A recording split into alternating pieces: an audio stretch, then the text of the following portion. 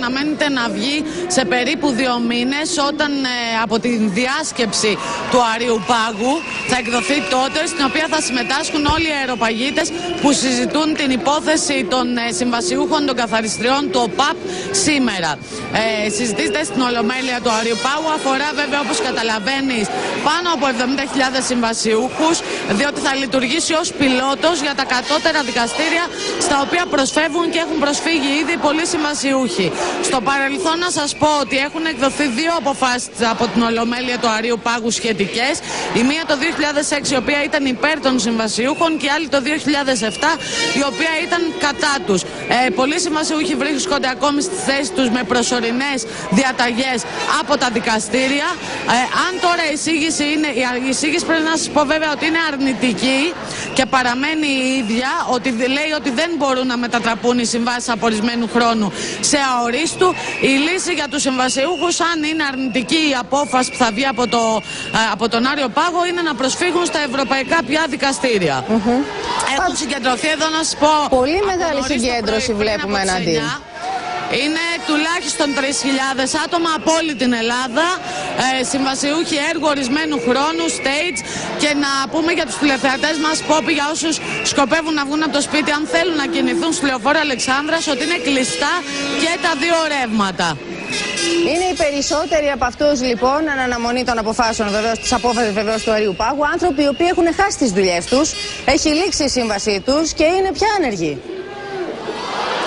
Πολλοί έχουν χάσει ήδη τη δουλειά τους, άλλοι βρίσκονται ακόμη στην εργασία τους με προσωρινές διαταγές των δικαστηρίων, είτε κανονικά, περιμένοντας όμως να λήξει η σύμβασή τους. Αυτό που λένε οι ίδιοι είναι ότι καλύπτουν πάγιες και διαρκείς ανάγκες, δουλεύουν Να ακούσουμε λίγο, Ναντίν, και, και τα συνθήματά τους.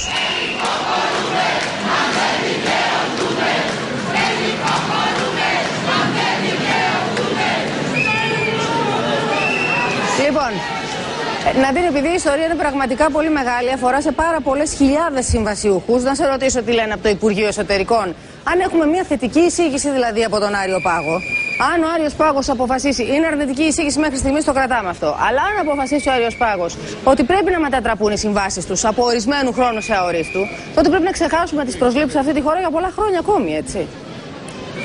Αν ο Άριος Πάγος ε, αποτανθεί ε, πόπι ότι ε, μπορούν Υπέρ να των μετατραπούν οι συμβασιούχων, ναι. συμβάσεις ορισμένου χρόνου υπέρ των συμβασιούχων, ε, αυτό σημαίνει ότι μετά είναι στη διακριτική ευχέρεια του Αρίου Πάγου να ζητήσει από το κράτος να μονιμοποιηθούν οι συμβασιούχοι Έτσι. αυτοί. Ε, από την άλλη πλευρά του Υπουργείου Εσωτερικών ε, έχει καταστήσει σαφές ότι όσον οι συμβάσεις λήγουν θα πρέπει να αποχωρούν και έπειτα να ξανακάνουν τα χαρτιά τους όταν και εφόσον προκυ- προκυρήσονται διαγωνισμοί μέσω του ΑΣΕΠ. Μάλιστα έχει πει ότι για το 2011 ε, θα είναι μειωμένες οι εγκρίσεις για συμβάσεις κατά 15%, άρα δηλαδή 64.000 συμβασιούχοι σήμερα στο δημόσιο. Για το 2011 οι εγκρίσεις θα είναι γύρω στους 54.400. Ναντίν, θα σε ευχαριστήσουμε. Θα μείνουμε εκεί βεβαίως με την